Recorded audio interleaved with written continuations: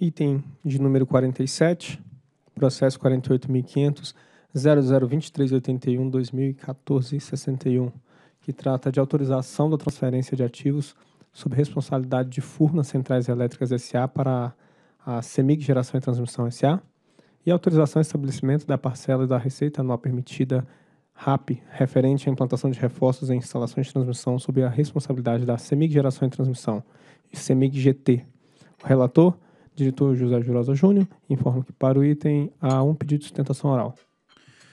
Consta da consolidação de obras da rede base do ciclo 14, revisão de junho de 14, a necessidade de execução de obras de reforço e instalação de transmissão sob a responsabilidade de Furnas e CEMIG, GT, ambos na subestação Barreiro 1. Em 3 de 8 de 15 e também no dia 5 de 8 de 15, a SCT instruiu as autorizações e o estabelecimento de RAP referente a implementação de reforço sob responsabilidade de Furnas e da CEMIG, ambas na subestação Barreiro 1, as quais foram encaminhadas às referidas empresas, que, por sua vez, apresentaram suas informações complementares no dia 28 do 8 e no dia 2 do 9, respectivamente. Em 1 do 10 e 15, a SCT apresentou suas análises complementares na nota técnica 287 e também na nota técnica 281, considerando as manifestações da CEMIG e de Furnas, respectivamente. Em 9 do 10 e 15, fui sorteado diretor relator. Em 29 do 10 e 15, em reunião realizada na ANEL, fui informado, fui informado a Furnas que, conforme a orientação conjunto dos diretores relatores dos dois processos, a SCT iria alterar o escopo da autorização de reforço prevista na SCI Barreiro 1, transferindo parte das funções de transmissão detida por Furnas à CEMIG GT, detentora da maior parte das instalações da subestação. Em 1 do 12 e 15, a SCT solicitou manifestação das concessionárias a respeito da transferência de transformação 345-138 KV sob responsabilidade de Furnas para a CEMIG GT, cujas manifestações foram apresentadas no dia 22 do 12 de 15 e no dia 28 do 6 de 16, respectivamente. Em 8 do 8 de 17, a SCT apresentou a sua análise e o relatório. A sustentação oral será feita pelo senhor José Roberto Valadares, representante da CEMIG GT, a quem convido para fazer uso da palavra na tribuna. Bom dia a todos, ao Romeu aí e demais diretores e aos presentes.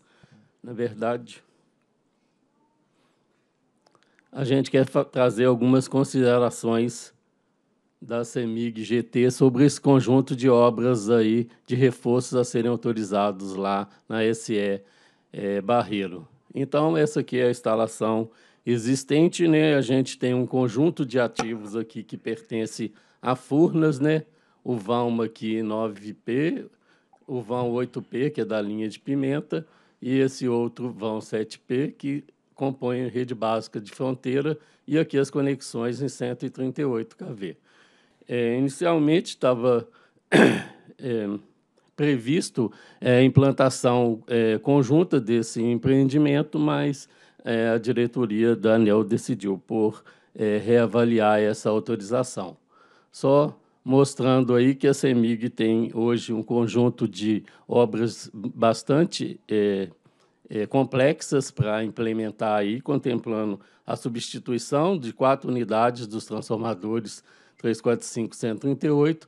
A gente vai adequar o arranjo de 345 passando de barra principal e transparência para barra dupla, adequar o arranjo de 138 aí para barra dupla quatro chaves, contemplando novos nove vão, dez vãos, instalar um transformador 13813 para conectar o síncrono, substituir a proteção diferencial de barra de 345, atender demandas aqui de protocolo de proteção, além de algumas melhorias que a gente está elencando para essa é, instalação. Só para a gente ter uma ideia, a gente previu aqui instalar um barramento auxiliar aqui é, para transformar esse arranjo no 345 de barra principal e transferência para barra dupla. Como isso aqui é um, um barramento, é, são tramos, a gente tem essa obra aí, ela feita, proposta em etapas.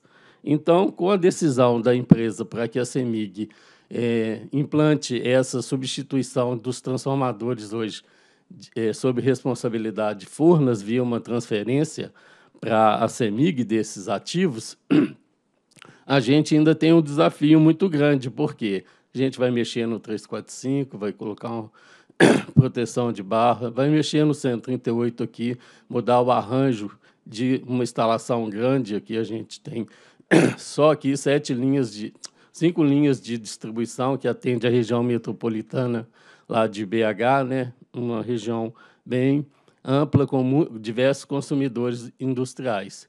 Então, qual que é o pleito que a gente traz aqui para essa diretoria? É que a CEMIG possa ser autorizada na adequação do vão é, 8P da saída lá de Pimenta. Na verdade, com essa proposição da diretoria para que a CEMIG implante a rede básica de fronteira, é um dos ativos remanescentes lá vai ser aquele vão 8P. E aí a gente tem é, hoje, por exemplo, é, a CEMIG dá o primeiro atendimento lá para é, Furnas no caso de, de alguma ocorrência. Então, o que, que a gente está elencando aqui de dificuldades com relação a isso? É a questão de, de fazer uma ópera conjunta, CEMIG e Furnas lá, e a gente teria dificuldades aí de, de é, compartilhamento de documentação, por exemplo, projeto civil, elétrico, sistema lá do escada, projeto eletromecânico, remoto, RDP, para a gente poder realizar os estudos, os projetos executivos. Então, seria uma dificuldade assim grande numa instalação existente. Quando dois transmissores estão implantando instalações, ainda mais normalmente sendo privados, você tem uma facilidade, mas a gente não tem tanto essa facilidade nesse sentido, porque tanto Furnas quanto Semig vai ter que contratar essa obra. A gente teria dificuldades de compatibilização de cronogramas, por exemplo, a integração da proteção diferencial de barra, as intervenções que envolvem a distribuidora e muitos consumidores livres, mesmo os desligamentos que a gente vai ter que realizar e a questão de comissionamento dessa conjunto de obras gigantes. Por exemplo, só a barra de 345 dá quase 100 metros de barra que a gente tem lá. Então, é uma adequação muito grande que a gente tem prevista. E a gente teria a questão de gestão simultânea aí de equipes, acessando a instalação, casa de controle, é, canaletas de cabo, um andar subterrâneo a calderia de cabos, serviços auxiliares aí, tanto de Furnas quanto da CEMIG, é, ou a sala de telecomunicações, que a gente teria que trabalhar de forma conjunta ainda, e além de celebração de contrato de compartilhamento. Qual que é a preocupação da gente? É com a segurança do atendimento sistêmico. Então, só para ter ideia, essa é a região metropolitana, o Barreiro está aqui, nessa posição. A gente tem obras aqui licitadas que estão em implantação, né? É, Betim 6, Sarzedo. Tem consumidores livres acessando aí a região. Então, qual é a preocupação da gente? Que o Barreiro está numa região é altamente industrial, ela atende uma parte nobre da, da, da, da área metropolitana de BH aqui, Barro Preto, centro, área hospitalar, área industrial aqui, tudo azulzinha, consumidor livre, conectado na CEMIG-D.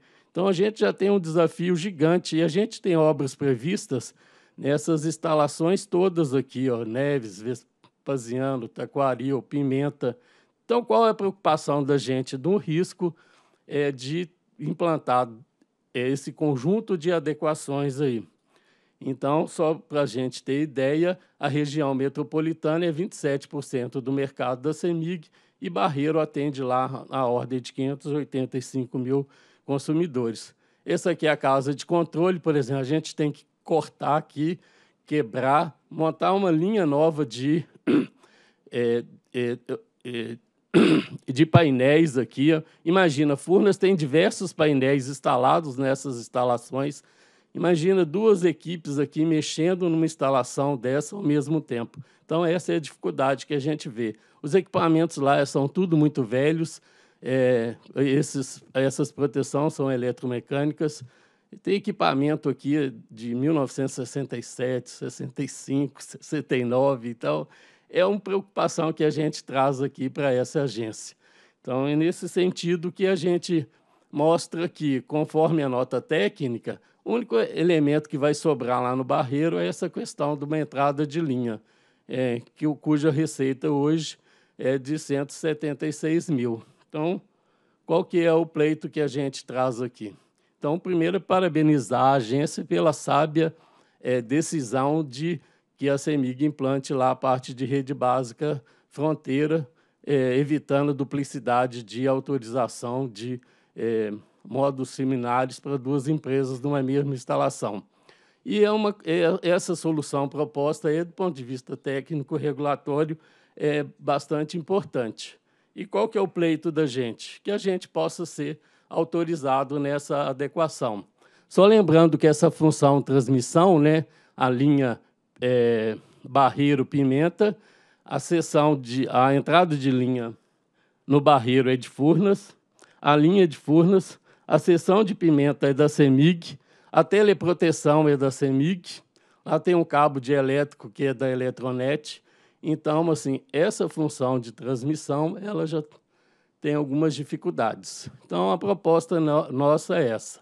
É, e como uma alternativa, é, talvez, é, se essa, essa diretoria não acatar o pleito da CEMIG, uma segunda alternativa seria autorizar a Furnas a, a implantar um, uma casa de controle onde ela possa implantar os seus painéis lá, evitando a duplicidade de duas empresas naquelas mesmas instalações. É? Ou uma outra alternativa seria é, de uma negociação entre as empresas para a transferência desses ativos. Mas o pleito da gente, que a gente entende ser plausível, é, seria no sentido de a ANEL já autorizar para a CEMIG adequar aquele vão é, 8P. Agradeço aí a atenção. Obrigado. Procuradoria. É, a Procuradoria opina pela presunção de juridicidade da decisão a ser proferida pela diretoria. É, pelo que eu entendi, é, é, é, além do que nós já estamos autorizando, é, é um outro pleito. É isso? É, sim. Bom, então, se é um outro pleito, eu acho que cabe como um recurso. É, não caberia dentro desse, desse daqui, é um pleito adicional. Por favor, Ivo. Antes de... bom dia, diretores, bom dia a todos. É, a, a, regulação da ANEL impõe que funções linhas de transmissão sejam compostas pela linha e suas conexões nas subestações. Isso é a forma de regulação da qualidade do serviço que vem na sequência. Então, é não natural a transferência de uma entrada de linha para um detentor de subestação em detrimento da regulação de serviço que virá para a disponibilidade da linha de transmissão. Por isso que não, não foi considerado o pleito. É, outras opções de implantação conjunta devem ser, sim, avaliadas pelos dois empreendedores e tem um processo sob relatoria do diretor Reive que vai tratar justamente da adequação dessa entrada de linha que deve ficar de acordo com a regulação setorial sobre responsabilidade de Furnas, o que não impede os empreendedores de conjuntamente fazerem a, a expansão. Então, é o que a gente está fazendo nesse processo é a regularização de toda uma situação das funções de transmissão, que é a regulação da ANEL para prestação de serviço e alocando o serviço àquele que deveria ser responsável exclusivo pelo serviço. O transformador para CEMIG, a entrada de linha para Furnas. E esse processo está subindo para a diretoria após a instrução, após a deliberação deste processo, que dá um encaminhamento para o próximo, para autorização da adequação também para Furnas, oportunidade da qual os empreendedores vão poder, de forma conjunta, decidir como que vai ser feita a melhor gestão da obra na subestação. Esse outro pedido também é possível de ser analisado, mas isso não é objeto dessa autorização aqui em curso, deve ser feito um pleito à parte. É, então, é isso que eu, eu entendi isso também. Então, eu dou prosseguimento aqui à, à, à leitura. Então, então, trazer autorização de transferência de ativos sob responsabilidade de Furnas para a CEMIG GT na ECE Barreiro e autorização de estabelecimento de parcela de RAP referente à implantação de reforço e instalações de transmissão sob responsabilidade da CEMIG GT.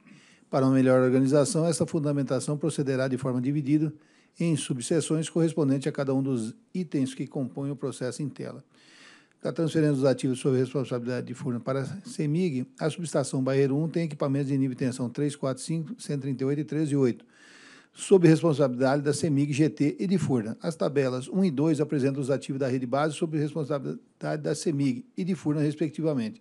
Então, a tabela 1 está aqui sob a responsabilidade da CEMIG e, e a tabela 2 das obras sob responsabilidade da de Furnas. Conforme pode ser observado, a maior parte dos ativos da subestação Barreiro 1 está sob responsabilidade da CEMIG GT, incluindo o modo geral e quatro dos seis transformadores 345. disponíveis nessa subestação, restando sob responsabilidade de Furnas dois transformadores 345 e um modo de entrada de linha em 345. Sobre o assunto, a SCT ressaltou que não é usual que a prestação da função de transmissão seja compartilhada em uma mesma instalação, sendo normalmente prestada por apenas um agente de transmissão e justificou que este compartilhamento não é recomendado, sobretudo pelo impacto que a operação de um transformador pode tem sobre os outros transformadores que prestam o mesmo serviço, sendo possível, por exemplo, em situação de contingência, que a falha na operação de um transformador sob responsabilidade de um agente leve o transformador sob responsabilidade do segundo a entrar em sobrecarga. Destacou o fato que os transformadores T1, 2, 3 e 4 encontram-se totalmente depreciados e, assim, considerando os efeitos da Lei 12783, as concessionárias atualmente recebem parcela de RAP destinada apenas à cobertura de OIM dessas instalações, ou seja, as concessionárias já foram integralmente remuneradas pelo investimento desses ativos. Ademais, o fato de existir apenas um agente responsável pela transformação, nesse caso, viabiliza a autorização de apenas uma fase de reserva adicional a ser compartilhada pelos transformadores 7 e 8, situação que não seria possível no caso de dois agentes, em que seria necessário autorizar uma fase de reserva para cada concessionário, conforme disposto nos anexos do ofício 248 do MME. E desse modo, uma vez que está prevista a substituição dos transformadores T1, T2, 3, 4, a SCT entendeu que é conveniente, do ponto de vista técnico e regulatório, oportuno é, também do ponto de vista econômico, que os transformadores T3 e T4 a fase reserva TTR1, bem como os modos de conexão dos transformadores em 345 e 138, sob responsabilidade de Furna, no contrato 62-2001, seja transferido para a CEMIG, detentora do contrato de concessão número 6 de 97. Por fim, a SCT esclareceu ainda que a transferência é não onerosa, uma vez que os ativos já se encontram totalmente depreciados. Furna, por sua vez, alegou impacto negativo na transferência dos ativos citados para sua concessão. Dentre eles, destaca as seguintes questões. Primeiro, as receitas ofertadas pelo poder concedente e aceitas pela CIVIG-GT no processo de prorrogação de seus contratos de concessão contemplavam o ativo em questão. Dois, a perda do ativo representaria uma redução na escala e implicaria na ineficiência operacional, a qual já foi considerada no estabelecimento da RAP inicial e teria reflexos futuros. 3. A retirada das receitas precisaria ser compensada com o recebimento de parcela correspondente ao custos anuais de instalações móveis em imóveis. A respeito da alegação da concessionária, a SCT esclareceu que o serviço de transmissão de energia elétrica segue o regime de serviço pelo preço. O preço associado à prestação de serviço para cada módulo integrante do contrato de concessão, prorrogados conforme medida provisória 579, convertido na Lei 12783, foi definido conforme metodologia aprovada pela ANEL pela Resolução Homologatória 1395 de 12. E nessa metodologia, o VNR de cada módulo calculado pelo Banco de Preços de Referência foi utilizado como ponderador para a divisão do valor total da RAP, estabelecido para cada concessionário na portaria 579, entre todos os módulos que faziam parte de cada concessão. Portanto, pelo exposto e considerando que FURA não exercerá mais a prestação de serviços relacionados aos ativos a serem transferidos e que os equipamentos já se encontram completamente amortizados, julgo que deve ser utilizada a mesma metodologia aplicada para o estabelecimento de RAP de cada módulo e, que, e também que deve ser realizado o cancelamento das parcelas de RAP associado aos módulos representados na tabela 3, que estão aqui relacionadas todas essas obras de Furnas. Adicionalmente, julgo que que as parcelas de RAPs apresentadas na tabela 3 devem ser canceladas a partir da assinatura do contrato de transferência das instalações a ser celebrada entre Furnas e CEMIG. Deve também ser estabelecida parcela adicional de RAP referente à atividade de operação e manutenção das referidas instalações a serem recebidas pela concessionária a partir da transferência das instalações até sua substituição pela CEMIG GT. E a parcela de RAP associada à operação e manutenção das instalações a serem transferidas por Furnas para a CEMIG GT seja estabelecida no reajuste de receita subsequente à celebração do contrato de transferência de instalações, quando deverão ser também canceladas as parcelas de RAP apresentadas na tabela 3 e, por fim, a transferência das instalações seja realizada em até seis meses a, a partir da emissão do ato autorizativo da ANEL, bem como recomendamos o envio dos termos de transferência para a ANEL em até um mês a partir da sua assinatura. Quanto aos reforços a ser autorizados, a CEMIG deverá instalar o banco de autotransformador denominado T7 345 138, três fases é, de 125 MVA, em substituição ao transformador T1, T2, que é de três fases de 50 MVA cada, é, incluindo a adequação dos modos de conexão 3, 4, 5 e 138 e a desmontar de equipamentos, além da instalação de uma nova fase de reserva de 125 MVA em 3, 4, 5, em substituição unidade de reserva TTR2, incluindo desmontar dos equipamentos. A CEMIG GT deverá instalar o banco de transformadores, denominado T8 345 138 3 fases 125 MVA, em substituição transformador 3 E4 345 com 3 fases de 50 MVA cada, incluindo os modos de conexão 345 138. A concessionária também deverá adequar o barramento 345, passando de barra principal e transferência para arranjo barra dupla, a dois disjuntores e os barramentos 138, passando de barra principal e transferência para barra dupla a quatro chaves. A respeito dessa adequação, esclarecemos que foram utilizados quantitativo informado pela CMI-GT para os equipamentos principais, uma vez que, a, que parte desses equipamentos poderão ser reaproveitados no novo arranjo. Em razão das modificações do arranjo da subestação, a CEMIG-GT também deverá instalar um transformador 138 de 70 MVA, incluindo conexões para atendimento ao compensador síncrono da subestação atualmente alimentado pelo terciário transformador T1 e T2, que serão substituídos. E, por fim, a CEMIG GT solicitou que fossem considerados os investimentos necessários para a instalação dos modos de conexão dos transformadores de reserva da subestação. Contudo, a SCT esclareceu que essa instalação não está prevista no planejamento setorial e, portanto, não será atendida, posição essa que eu concordo. Quanto às características gerais, preliminarmente, registro que os procedimentos de metodologia adotados pela SCT atende ao que dispõe o, 9, o 9.7 do PRORET.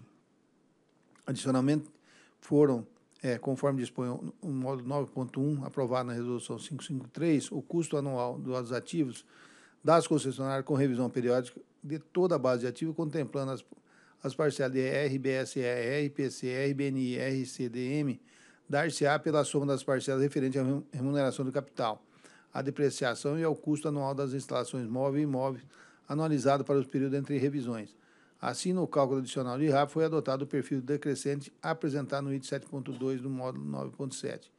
Em atendimento ao disposto do inciso 3 da do artigo 4 da portaria 274, o adicional do RAP é estabelecido considerando-se o impacto do regime especial de incentivo para o desenvolvimento da infraestrutura, o REID. E, por oportuno, ressalto que, de acordo com o contrato de concessão anel número 6, a RAP a ser paga pela transmissora, a transmissora não considera o montante necessário à cobertura das despesas com PIS, PASEP e COFINS, incluindo pelo INS o aviso de crédito e aviso de débito. Dessa forma, o adicional de, de RAP para a instalação dos reforços foi calculado sem aplicação da alíquota referente a esse tributo.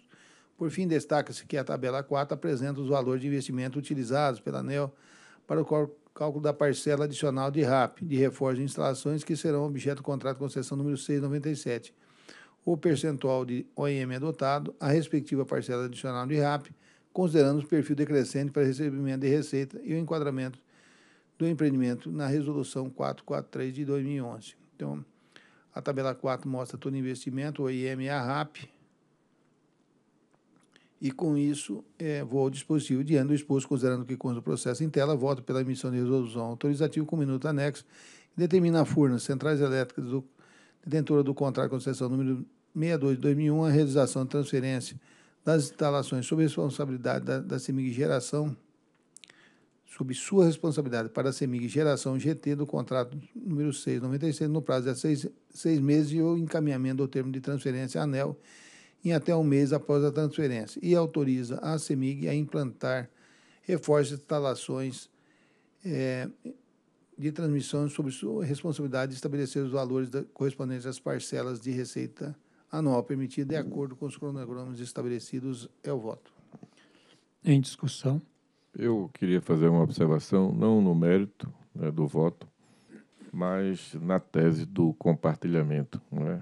Nós tivemos a oportunidade de ver aí a sustentação oral, é, o grau de dificuldade que foi apresentado aí pelo representante da CEMIG, eu, particularmente, já vivi isso, né, quando ele colocou para mim, entrou no sangue, porque era o nosso problema. E olha que era uma empresa só. Tá? Nós tivemos uma preocupação muito grande quando implantamos a Associação de Xingó, porque era o CCX, era o primeiro sistema digital no Brasil. É, e eu tinha problema entre engenharia, construção e operação da mesma empresa. Né? Imagine quando eu vejo o bipolo, os problemas que nós estamos vivendo. Então, doutor Ivo, eu acho que a gente precisaria não nesse caso específico, mas fazer uma avaliação. Qual foi o ganho né, que o setor teve com compartilhamento. A princípio, era um processo de licitação, onde a, a, a competição conseguiria ter valores menores. Mas qual é o ganho que está tendo hoje do ponto de vista de operação, do ponto de vista de manutenção? E uma ocorrência na associação, quem é o responsável mesmo disso aí? Porque um pedaço foi de um, outro foi de outro. Então, eu acho que não é uma questão aqui, eu acho que do ponto de vista do encaminhamento está correto. Agora, é importante que a gente faça uma reflexão, que nós estamos fazendo na distribuição, né? Você está chegando à conclusão de que toda essa pulverização vale a pena você fazer uma, uma concentração, uma vez que tem um ganho maior para o consumidor. Acho que vale a pena a gente cadastrar a necessidade de reavaliar se a decisão que foi tomada no sentido de compartilhar é mais adequada ou se existe espaço para que a gente possa é, aglutinar, porque do ponto de vista de operação e manutenção, na minha avaliação, é um problema muito sério. Concordo contigo. É, eu também concordo que isso tem potencialmente pode trazer grandes desafios, é, inclusive é. dessa questão que você falou da responsabilização de um, de um, de um evento desse. Agora, então eu entendi que no caso concreto, é, essa não há nenhuma discordância da decisão que está sendo encaminhada pela própria CEMIG, que é no sentido exatamente de transferir para ela e autorizar a ela, CEMIG GT, essas instalações. E no outro processo que já está encaminhado aí a sua instrução, e num eventual pleito, eu acho que essa reflexão é relevante. Aí outro comentário aí na, na, categoria da brincadeira, mas já houve época que construção e operação da mesma empresa era muito parecido com empresas distintas, né? Acredito que ainda continua.